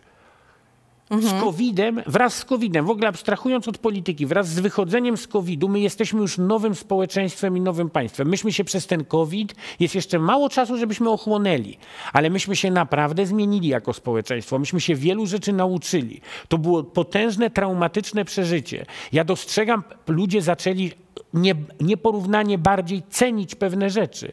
Pracę, także życiowe, jak przyjaciół, ale także zaczęliśmy dos- Bardzo dos- pan filozoficzny dzisiaj. tak, pani redaktor, bo zaczęliśmy dostrzegać istotę roli państwa, które nagle w, okazuje się, że są takie momenty, w których państwo i jego sprawność jest zupełnie kluczowa. I To jest walka z i pandemią. jest to coś, na co my kompletnie nie mamy wpływu. I, I właśnie, a może się uczymy, jak ten wpływ, może dzięki też pandemii uczymy się, widzimy co to oznacza poprawka w Sejmie czy poprawka w Senacie, bo jedna poprawka oznaczała dla branży śmierć lub przetrwanie, prawda? Nagle zaczęliśmy że ta polityka ma sens, pani redaktor, bo polityka to nie jest jakiś głupi Kamiński, który siedzi i coś opowiada w telewizji, ale to są dziesiątki decyzji, które są podejmowane w Sejmie, w Senacie, w rządzie, które mają wpływ na zwykłego człowieka. I myślę, że to jest tak, że Polacy są dzisiaj dużo bardziej zainteresowani polityką niż byli kiedyś. Proszę zwrócić uwagę, także ci wyborcy PiSu, ja, ja ich nie tylko nie, nie, nie krytykuję, to są często ludzie, którzy przyszli do polityki wraz z PiSem. I ich nie trzeba odganiać z powrotem e, do No domu. właśnie to się mówi a propos, a propos powrotu Donalda Tuska, że to jest 7 lat, więc to wyrośli zupełnie nowi wyborcy, którzy w ogóle tej ery Tuska już tak naprawdę nie Więc pamiętają. też straszenie Tuskiem ludzi, którzy go nie pamiętają, w sytuacji, w którym z drugiej strony młodemu pokoleniu daje się e, obowiązkową religię i przymus z religii, to młode pokolenie, które nogami ucieka z lekcji religii, które nogami ucieka z kościoła, które nogami i każdą inną częścią ciała pokazuje, że nie chce już katolickiej Polski tak, jak ją definiuje Jarosław Kaczyński, to to młode pokolenie nie interesuje spór Tuska z Kaczyńskim. Interesuje to, co ważni politycy mają do powiedzenia na temat przyszłości dla nich. A Tusk ma w dalszym ciągu dużo więcej do powiedzenia na temat naszej przyszłości młodym ludziom niż Jarosław Kaczyński. W dalszym ciągu. Naprawdę. To jest ta zasadnicza różnica. No dobrze, wracając do wyborów w Rzeszowie. Co to oznacza dla opozycji? Wygrana Konrada Fiołka. Czy to jest sygnał, e, drodzy, trzeba jednak e, Razem. zebrać siły Właśnie, a może to będzie wspólnie? sygnał dla, dla kolegów z opozycji, że warto zagrać razem, że fakt, że się różnimy, to nie jest nic złego, Mhm. bo różnią się też w zjednoczonej z nazwy prawicy i to różnią się w ogóle co do tego, jak tę prawicę definiować, e, więc my się też mamy prawo różnić. Ja bardziej podchodzę, pani redaktor, jeżeli mamy snuć te analogie amerykańskie, Mhm. a, to trzeba powiedzieć tak, no PiS to są republikanie, prawda? I Kaczyński jest jak Trump. Przy pewnej analogii. On by się nawet nie obraził, że mówię uczciwie, to nie jest obraźliwe porównanie w moim, mojej intencji, tylko raczej dla opisu sy- sy- sytuacji. To my jesteśmy demokratami. Znaczy, Zmierzamy do końca. i jeżeli się okaże, to jest tak jak w Ameryce, jeżeli by się okazało, wygrywa w republikańskim stanie, to oznacza, że zmieniają się nastroje społeczne.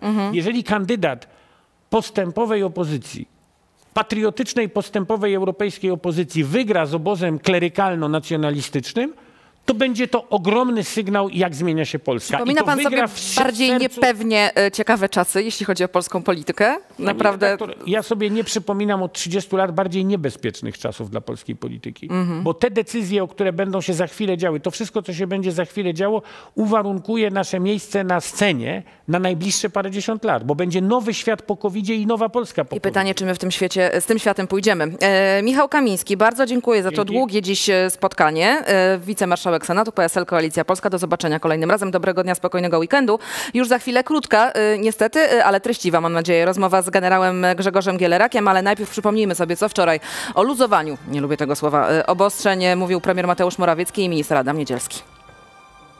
Już od Dzięki. 13 czerwca chcemy wprowadzić pewne zmiany, a od 26 czerwca kolejne zmiany, które będą obowiązywały przez okres wakacji, do, czyli cały lipiec i sierpień, bo musimy zachować tą czujność i musimy uzależniać też cały czas proces ostatecznego pozbywania się wszelkich obostrzeń od liczby osób zaszczepionych i od powszechnego zdrowia w naszym społeczeństwie mm, w związku z pandemią. Już od 13 czerwca, tak jak wspominałem, więcej osób będzie mogło być w kościołach. E, Tutaj połowa miejsc w kościołach będzie mogła być zajęta to jest niejako wyrównanie warunków w stosunku do niektórych innych instytucji e, i tych warunków, które gdzie indziej obowiązują. Również wydarzenia sportowe i koncerty na obiektach sportowych będą się mogły odbywać z większą liczbą widzów. Tutaj również od 26 czerwca będzie można zająć 50% miejsc. Z kolei w hotelach i obiektach wypoczynkowych to też bardzo ważne, żeby z powrotem mocno ruszyła nasza branża turystyczna i hotelarska, noclegowa. Zwiększamy limit dopuszczalnych miejsc zajętych do 75% i do tego limitu nie będą wliczane dzieci do 12 roku życia. Chcemy tym samym zachęcić e, dzieci, młodzież, e, dzieci do, mm, e, do wyjazdów również wakacyjnych. Wiemy, jak ciężki był również dla nich ten, ten okres, to siedzenie w domu i nauka online.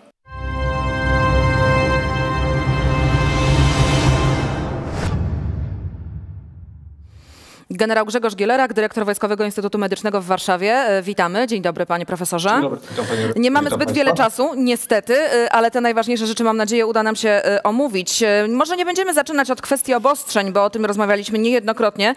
Bardziej zainteresowały mnie inne słowa premiera Mateusza Morawieckiego i chciałabym, żeby pan je skomentował. Naukowcy i lekarze epidemiolodzy przestrzegają nas przed czwartą falą koronawirusa. Ona jest realnym zagrożeniem. W sytuacji, w której w tej chwili z jednej strony politycy mówią o końcu pandemii, a drugiej o, z drugiej o realnym zagrożeniu, zagrożeniu czwartą falą, to ja się troszkę obawiam o to, że ludzie mogą, no, delikatnie mówiąc, e, zwariować od e, tych sprzecznych e, i niekompatybilnych ze sobą informacji. Więc do eksperta się zwracam i proszę o wyjaśnienie tejże właśnie. Czy nam grozi ta czwarta fala, czy ona jest realna, czy właśnie kończymy z pandemią, jak twierdzi bardzo często premier Morawiecki. Jak to jest? E, jedyną szansą, e, e, panie dyrektor i szanowni państwo, jedyną szansą na to, abyśmy zakończyli pandemię jest przeprowadzenie z bardzo dobrym skutkiem Narodowego Programu Szczepień, czyli tak on się nazywa w Polsce. A zatem wyszczepienie tej niezbędnej części populacji to jest 75-80%.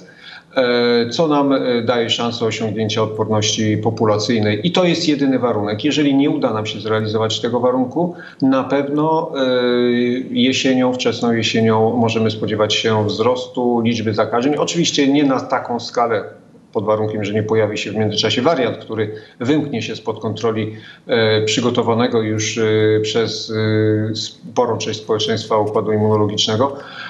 Tym niemniej na pewno możemy liczyć się ze zwiększoną liczbą zakażeń, pojawianiem się ognisk mhm. zakażeń, tak jak to przypomnę było latem ubiegłego roku. Także to jest pełna i, jedyna uważam wiarygodna odpowiedź na to, czy możemy powiedzieć, że mamy już y, jesteśmy po epidemii. Nie, to wszystko dzisiaj jest w naszych rękach. To chciałbym mocno podkreślić. E, panie profesorze, kolejna sprawa dotycząca e, właśnie luzowania obostrzeń. E, wczoraj szereg informacji od pana premiera i od ministra zdrowia.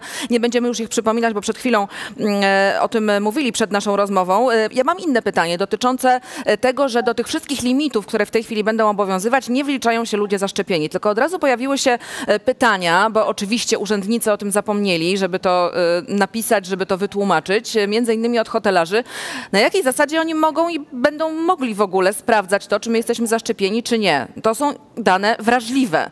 E, to nie zostało w prawie w jakiś sposób e, wyjaśnione i znowu mamy sytuację, w której jest jakaś decyzja rządu, ale nie ma do tego jakichś instrukcji wykonawczych.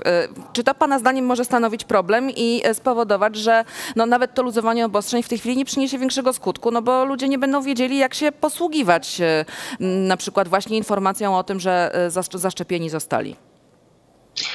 E, to znaczy, e, zgadzam się, że z punktu widzenia administracyjnego, formalnego, tego typu szczegółowa instrukcja dla osób, które tutaj mam na myśli wymienionych choćby hotelarzy, dla osób, które będą no, w jakimś stopniu odpowiadać za realizację tych wytycznych, powinna być udzielona. Natomiast z technicznego punktu widzenia powiem tak, dzisiaj absolutnie jest to już możliwe i to powiem dla przysłowiowego Kowalskiego, dlatego że tak jak każda osoba zaszczepiona dwoma dawkami ma już dostępny w internetowym koncie pacjenta kod QR, tak samo każdy z nas może ściągnąć sobie na smartfona program, który pozwala odczytać informacje z kodu No, ale QR. panie profesorze, przepraszam, że wchodzę w słowa, ale e, przypuśćmy, że ludzie stoją w kolejce do klubu nocnego, do dyskoteki, która ma być e, otwarta. E, I przepraszam, znaczy e, jakby e, właściciel tej dyskoteki będzie musiał zaopatrzyć się w czytnik kodów QR? Yy, Czy będzie musiał się zaopatrzyć? No, Myślę żeby nie. móc- No, no właśnie. właściciel powinien zadbać o to, aby wchodzące do, osoby, do klubu osoby yy, wcześniej wylegitymowały się posiadaniem yy, takiego kodu, czyli Mhm. potwierdziły yy, swoje zaszczepienie albo przechorowanie, albo, yy, albo test, albo ujemny test. No tak, to jak, jak to będzie, to wyjdzie w praniu pewnie jak zwykle, jeżeli chodzi o tego typu sytuacje, ale rozumiem, że pana zdaniem te przepisy powinny być doprecyzowane, szczególnie jeżeli chodzi o ochronę danych wrażliwych w tej sytuacji.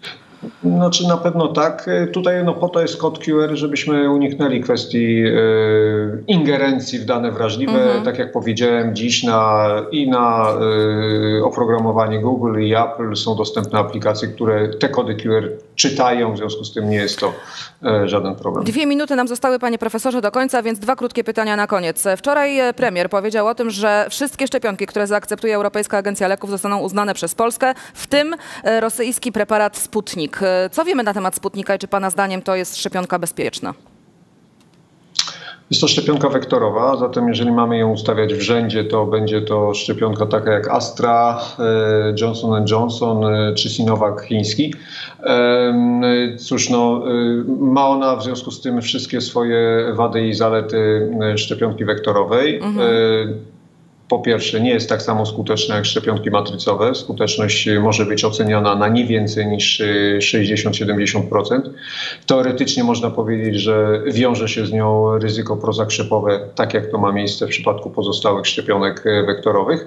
No, w przypadku szczepionki Sputnik, no, jednak zachowałbym w pamięci kwestię no, pewnego dysonansu informacyjnego, jaki zaistniał w, po nabyciu tych szczepionek przez Słowację. Jak pan, pamiętacie Państwo, e, Słowacja e, po zapoznaniu się ze szczepionką e, na łamach pisma Lancet, gdzie Rosjanie opublikowali informacje na jej temat, zakupiła 200 tysięcy jednostek, po czym okazało się, że e, dane e, tej szczepionki, czy to, co zakupili, nie odpowiada temu, co Czyli zostało po prostu opublikowane. czekamy na decyzję Europejskiej Agencji Leków i tyle. Najlepiej. Dobrze, panie profesorze, i naprawdę króciutko jeszcze jedno pytanie. Kiedy my uzyskujemy tak zwane pełne zaszczepienie? Kiedy możemy powiedzieć, że jesteśmy ludźmi zaszczepionymi? Z formalnego punktu widzenia uzyskujemy, tak jak ja przynajmniej, e, następnego dnia e, w koncie, na koncie pacjenta pojawi się informacja, że jesteśmy zaszczepieni drugą dawką. Natomiast z immunologicznego punktu Tak. widzenia wszelkie dane mówią o tym, że e, tydzień po drugiej dawce e, jesteśmy e, odporni. Bardzo dziękuję. To był prawdziwy ekspres e, dzisiaj. Generał Grzegorz Gielerak, dyrektor Wojskowego Instytutu Medycznego w Warszawie. Panie profesorze, kłaniamy się. Dziękujemy bardzo za te e, istotne informacje i do zobaczenia w przyszłym tygodniu. Wszystkiego dobrego. Do zobaczenia, dziękuję.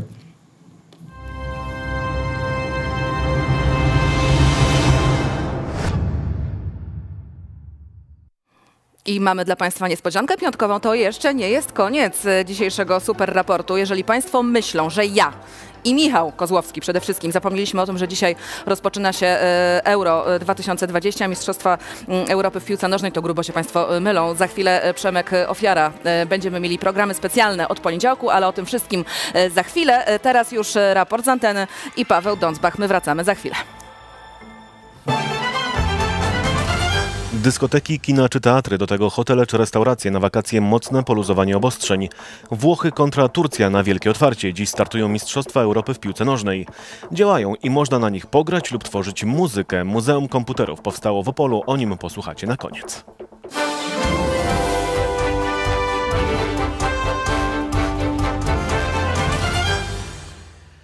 Przed nami szerokie luzowanie obostrzeń sanitarnych na wakacje. Zmiany dotkną m.in. hotele czy restauracje, gdzie zajęte będzie mogło być 3 czwarte miejsc, ale to nie wszystko. Otwieramy też dyskoteki. Tutaj limit obowiązujący to będzie 150 osób.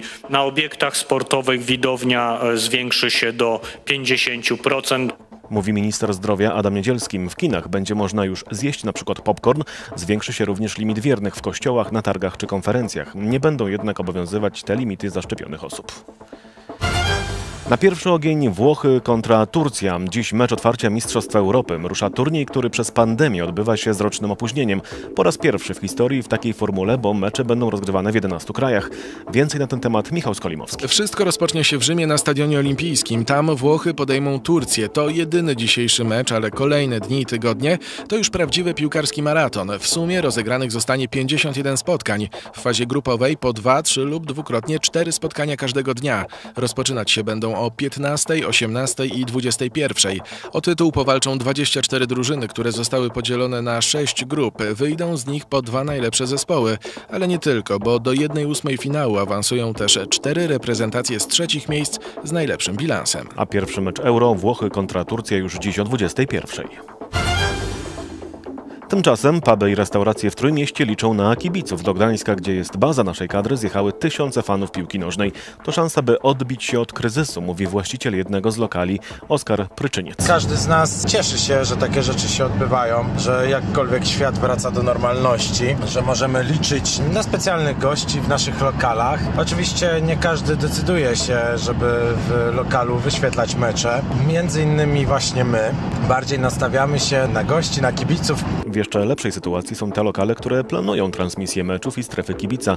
Podczas każdego meczu odwiedzają nas kibice z Polski i z zagranicy, mówi Maja Wilkowska z jednej z restauracji w Gdańsku. Przygotowaliśmy specjalne menu kibica. Oczywiście można obejrzeć u nas wszystkie mecze w środku na dużym ekranie, jak i na zewnątrz. Euro dla reprezentacji Polski rozpocznie się w poniedziałek. Na ten dzień zaplanowano nasz pierwszy mecz. Spotkanie Polska-Słowacja rusza o 18. Na koniec zaglądamy do Opola. Miłośnicy komputerów założyli tam własne muzeum. Są w nim maszyny, o których właściwie już zapomnieliśmy. Wszystkie komputery są działające. Można przyjść, można pograć, można pooglądać dema, można posłuchać muzyki, cokolwiek sobie kto zażyczy. Taka jest idea muzeum, to jest moja pasja, moje marzenie, więc zapraszam wszystkich. Mówi Arkadiusz Bronowicki, założyciel muzeum, w którym wyjątkowo można, a nawet należy, dotykać eksponatów. Można na nim tworzyć muzykę, można na nim tworzyć grafikę. Oczywiście grafika ma pewne ograniczenia, bardzo duże ograniczenia, z tym, że tamte gry mają to do siebie, że one uruchamiają wyobraźnię. Ona jest grywalna, bo godzina przy niej trwa sekundę. Do muzeum przy ulicy Łangowskiego wejdziemy za darmo, ale czynne jest na razie przede wszystkim w weekendy. Żeby mogło działać codziennie, potrzebni są wolontariusze.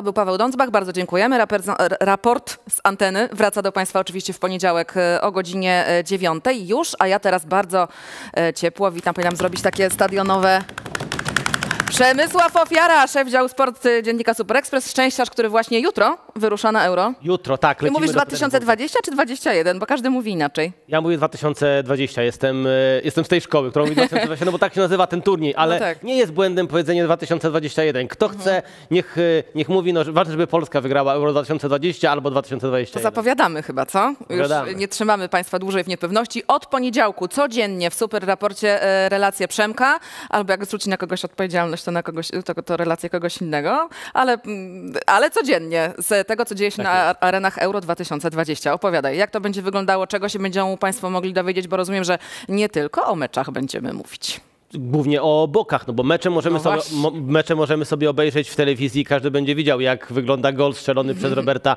e, Lewandowskiego, a my pokażemy to, jak wygląda, jak wygląda życie w miastach, w których Polska będzie rozgrywała mecze, jak Petersburg i Sevilla są przygotowane do tego, żeby przyjąć polskich kibiców, jak stadiony są przygotowane, jak polscy piłkarze przygotowują się do tych najważniejszych e, spotkań, jak nasi fani, którzy z pewnością pojawią się i w Petersburgu, I w Sewilli e, reagują na, e, na wydarzenia przedmeczowe, jak kibicują, jak dopingują, e, czy może nie będzie żadnych, będziemy się przyglądać, czy nie będzie żadnych utarczek pomiędzy kibicami, No oby może, tego, oby, oby tego nie było. znów nie przyniósł. no. Oby tego nie było, no historia pokazuje, że, że, że, że to bywa i to, i, to zbyt, i to zbyt często. Mam nadzieję, że tym razem będzie spokojnie, bezpiecznie i skupimy się na piłkarskich emocjach, ale tak jak mówię, my jako dziennikarze Super Expressu i wysłannicy Super Raportu. Pokażemy to, co dzieje się obok, a nie to, co dzieje się na, na boisku. Bardzo mnie cieszą te, cieszy mnie zapowiedź e, tych spotkań, e, bo jak wiesz, ja piłkę nożną bardzo, bardzo, bardzo, bardzo, więc też już się emocjonuję. Ale mam takie dwie e, wątpliwości. Pierwsza dotycząca właśnie samej atmosfery. Czy twoim zdaniem to, że to euro jest zorganizowane w tak wielu miastach nie spowoduje, że no właśnie ta atmosfera będzie no nie taka jak zwykle, że to jednak mm, wszyscy będą rozpierzchnięci, nie będą skupieni w jednym miejscu, nie będzie takich emocji, jak bywały zawsze. Trochę tak, znaczy bardzo No, tak, właśnie. bardzo tak. E, głównie dlatego, że no, jak coś się rozgrywa wszędzie, to się nie rozgrywa tego nigdzie tak naprawdę. No, e, kibice będą, część tak, tak, tak, tak samo jak my dziennikarze, będziemy częściej w samolocie, częściej na testach e, e, Covidowych. covidowych e, niż, niż pod stadionem, niż w tych miastach. Ja pamiętam Euro 2016.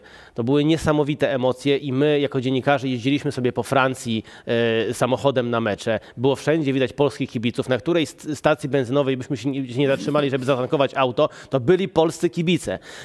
I nie tylko polscy, z całego świata. Wszędzie byli fani, wszędzie kibice. Atmosfera była gorąca. Widać, czuć było rytm, e, bijące serce tego, tego euro. No teraz jakby mm, e, będzie reanimowane Ja to nie wiem euro. o co chodzi, ale Michał takim meczem. rozmarzonym głosem powiedział mi do ucha, to był piękny wyjazd. Tak, Michał Kozłowski był wtedy z nami na Euro 2016 i doskonale pamiętam, zresztą Michał, Michał był też z nami na Mistrzostwach Świata w Rosji 2018 i to Mhm. też był turniej, podczas którego było czuć to bijące serce turnieju. Ja A teraz pamiętam, Bidak musi ze mną tutaj zostać. No. ja, ja pamiętam moment, e, taki za- zapadł mi w pamięć e, e, tuż po meczu Polska-Senegal w Moskwie, Mhm. kiedy skończyliśmy pracę i wr- wracaliśmy do, do hotelu i szliśmy sobie tam główną ulicą w Moskwie. Kibiców polskich z kibiców z Senegalu, ale też kibiców rosyjskich, którzy na drugi dzień rozgrywali, e, bo Rosja rozgrywała mecz na drugi dzień w Moskwie, było mnóstwo i ten, ten pogłos Rosja, Rosja to do, do, do, dziś, dzisiaj do pamiętasz. dzisiaj dźwięczy mi w uszach. To było Mhm. takie głośne. No tego już, tego nie będzie. Tego jakby e, kibice przyjadą, zameldują się, o, Pojadą. odbębnią mecz i, i, i No właśnie, wracać. a jak te podróże, to już teraz tak do sportu, sportu przechodzimy, wpłyną na e, kondycję naszych piłkarzy? Bo to też nie jest prosta sprawa, umówmy się, żeby latać między jednym miastem, drugim, wracać do tego Sopotu. Te podróże też mogą jakoś wpłynąć na ich e, przygotowanie, czy nie? Z jednej strony y, piłkarze są przyzwyczajeni do latania i y, przez y, cały rok, przez cały sezon latają na każdy mecz Ligi Mistrzów, y, przez nawet pół Europy.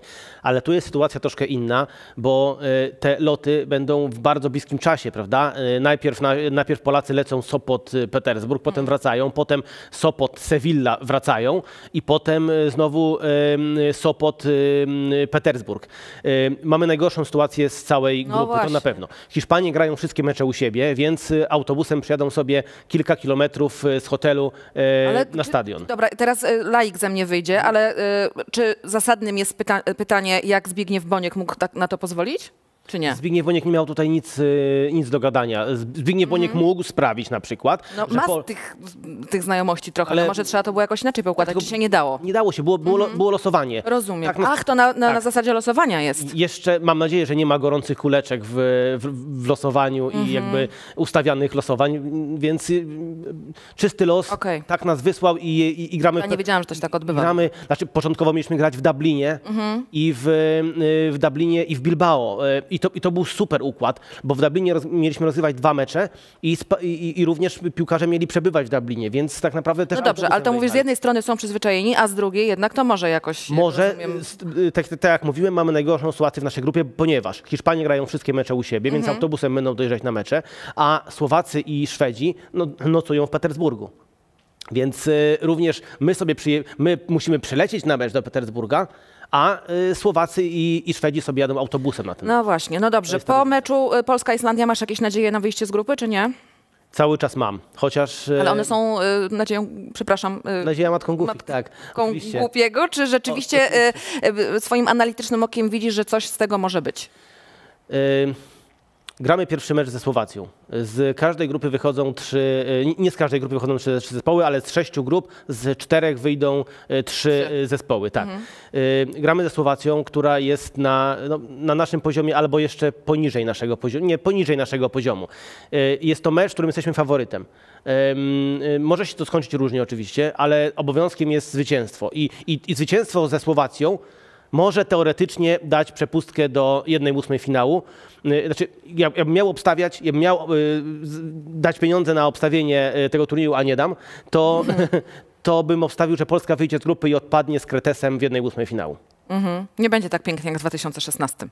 Nie, nie, to jest w ogóle inny zespół. Dobrze, a co zrobi Paulo Sousa twoim zdaniem, mając tak naprawdę jednego napastnika? No ma jeszcze... Bo to odpadnięcie Milika, no to był straszny cios chyba dla niego. nie, nie potrafił nawet tego ukryć do końca. No tak, tak, tak. Bolało go to mocno. Mówił no. nawet, że nie spał przez całą noc. No ale to trudno, trudno spać, kiedy najpierw wypada mu Krzysztof Piątek, za chwilę wypada mu Arkadiusz Milik tuż przed turniejem. Sam Robert przecież nic nie zrobi, no. Taka prawda jest. Musimy grać e, systemem z jednym napastnikiem, to na pewno, bo wciskanie drugiego napastnika obok Roberta moim zdaniem jest bez sensu. Trzeba ustawić to, co mówił Jan Tomaszewski zawsze w rozmowach mhm. E, ze mną, że trzeba ustawić dużo więcej pomocników niż napastników, bo trzeba przejąć jakby środek pola e, i tym możemy zaszachować e, Słowaków. Zdobyć środek pola, i podawać piłki do Roberta Lewandowskiego. To Robert musi mieć podania. Robert nie jest nad człowiekiem, Robert nie jest Bogiem. Może tak niektórym się wydaje, że Robert jest Bogiem futbolu, ale nie. Robert jest zwykłym człowiekiem, do którego trzeba podać tą piłkę, żeby on mógł strzelić, strzelić. strzelić gola. Więc y, no, mamy jeszcze dwóch napastników. Jest Świerczok i jest y, Świderski, ale to jest trzy, cztery klasy niżej od Roberta Lewandowskiego. No, hmm. no ja to nie, nie jestem optymistką niestety. Ja przed tym pierwszym meczem jestem jednak, jakby jestem taki naładowany energią, zawsze jestem przed turniejem naładowany energią, a potem ta energia mi szybko opada, więc y, no, zobaczymy. Ale jak znam polskich kibiców, to nawet od, odpukać tu malowane, malowane, więc nie będę odpukiwał. Um, nawet jeżeli przegramy ze Słowacją, to jak znam polskich kibiców. To będzie Polacy, nic się nie stało. To przed meczem z Hiszpanią, w, której, w którym jesteśmy skazani na porażkę, kibice będą mówić, jednak wygramy, nie? Wygramy z tymi Hiszpanami, możemy wygrać. Także no, fajnych emocji trzeba życzyć naszym kibicom. Ja pamiętam, jak ja na Euro 2012 stałam przed hotelem w Warszawie, czekając na naszą reprezentację po przegranym meczu z Czechami. No. O przegranym meczu z Czechami. No, zawsze tak. Tak? Dobrze mówię. Nic tak, się tak, nie pomyliło. Tak, tak, tak, O przegranym meczu z Czechami. No, polski kibic zawsze wierny kibic. Chociaż ja się zastanawiam, jak to jest możliwe, że w dalszym ciągu e, akurat e, polskich piłkarzy tak bardzo ci kibice kochają, a nie na przykład tych, którzy odnoszą naprawdę gigantyczne sukcesy. Piłką nożną się wszyscy interesują. No właśnie. To właśnie. będzie zawsze na pierwszym ale, ale, ale to ciekawe, możemy sobie zaśpiewać, no, obyśmy nie śpiewali. Mhm. Już za, nie, nie, za cztery lata Polska będzie mistrzem świata. Już za dwa. Za, za, za, rok, za, za rok są mistrzostwa świata. A no tak, za rok już Teraz mi się myli przez to, że to euro się Za rok Mistrzostwa Świata, a za trzy lata Mistrzostwa Europy w Niemczech. no to pracowity czas przed tobą. Pracowity czas. E, widzimy się w poniedziałek. Tak jest. A no, no, tak, to Michał do tej lekkoatletyce, lekkiej atle, jak się powinno odmieniać? Lekkiej atletyce chyba, Można tak? i tak, i tak. I tak, i tak. Jedno jest i, chyba, chyba, Michał wie lepiej, może, może on mnie poprawi. I proszę pamiętać, że się mówi meczów, nie meczy. Tak, meczu. Bo meczy to koza. Meczy koza. O, to taki e, jeszcze krótka lekcja języka polskiego na koniec. E, widzimy się w poniedziałek już na łączach. E, tak. Spokojnego, dobrego lotu, zbieraj siły, dużo kawy, Zbieram odżywiaj się dobrze. Tak jest. Na rosyjskim jedzeniu jakoś damy radę. Dacie radę. Ojejku, no w Rosji to... no, no ale dobrze, to już poza anteną może, co w Rosji jeszcze. E, bardzo dziękujemy Państwu za dzisiejszy super raport. To był Przemysław Ofiara. E, szef działu sport Super Expressu i nasz wysłannik e, na areny Euro 2020.